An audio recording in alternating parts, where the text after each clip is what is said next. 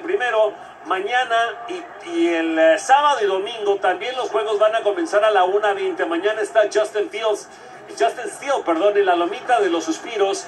Y el eh, sábado vamos a poder ver el debut de Strowman, este lanzador que vino de los Metropolitanos de Nueva York y, se, que le tienen pues mucha esperanza de que haga algo importante con esta novena de los Cachorros de Chicago.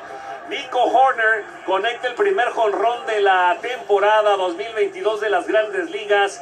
Y pues prácticamente Ian Happ estaba sellando la victoria para los cachorros de Chicago en este momento obviamente.